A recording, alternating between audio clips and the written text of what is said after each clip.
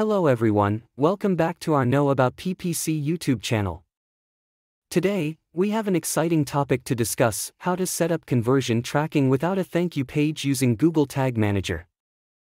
In the previous video, I covered how to set up conversion tracking in GTM using thank you page. If you want to check that, I will put the link at the top of the video or find the link in the description below. Now, in this video, I am covering a few key points to track the form submission. First, make sure the GTM has been installed on the website. Then, enable all the form elements on built-in variables. And, creating custom triggers and tags to send tracking data to GA4. Also, find out which elements exist in the form. Lastly, preview the form submission data on GA4 events. Alright, let's check one by one.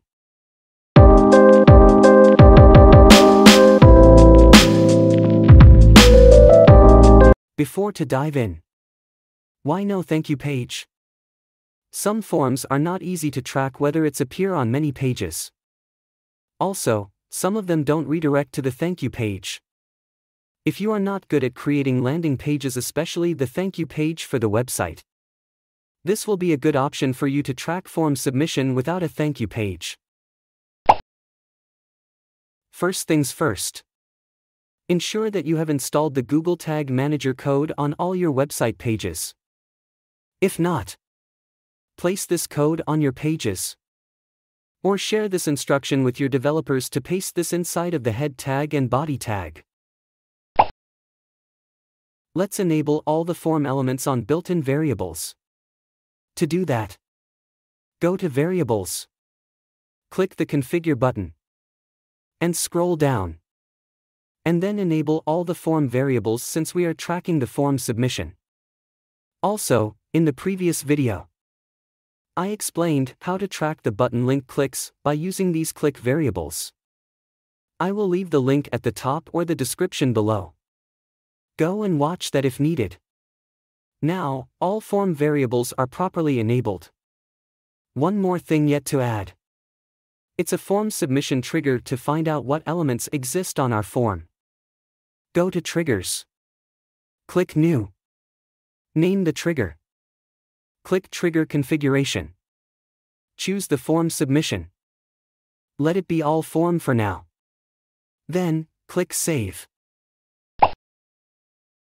Now, go to the preview mode of Google Tag and check what elements exist on our form. Copy and paste the URL where the form exists. Now, the page is loaded. Let's fill out the form. The form has been successfully submitted. Go to the preview mode of Google Tag Manager. Click Form Submit. Go to Variables. Check all the elements here that are associated with that form. We are supposed to choose one of these to track the form submission. Now, we should create triggers and tags. Go to Tag Manager. Click Triggers. Click New. Name the trigger. Click Trigger Configuration. Scroll down. Choose Form Submission over here. Now, choose some form here. And, check which element will suit the form. Choose one of these elements. If you want a class element, use form class equals to form class value here. Also, if need a form URL to track. Use the form URL equal to this form URL value. Also, form text. Form text equals to form text this value. Unlike ID, all of these are general and can be changed anytime. Only ID is unique. But you can do any of these. I am going to pick ID to track this form. Choose form ID equals to Copy the form ID value and paste it here. Then click Save. Also, cross-check this form by clicking right on the mouse and giving the inspect element. And then go to the form HTML tag.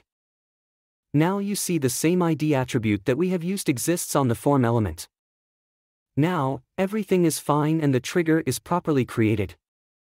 Let's create a tag to send data to GA4 as events. To do that, go to Tags. Click New. And name the tag. Click Tag Configuration. Click Google Analytics. Then click Google Analytics, GA4 Events. Choose our configuration GA4 tag. Name the event that will appear on GA4 when an event triggers. Choose this trigger to make a tag fire. Choose the trigger that we have created for form submission using the ID element. Then click Save. Alright, we have created the trigger and tag successfully. Let's go to Tag Assistant.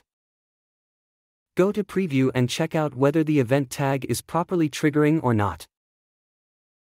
And place our URL here where the form exists.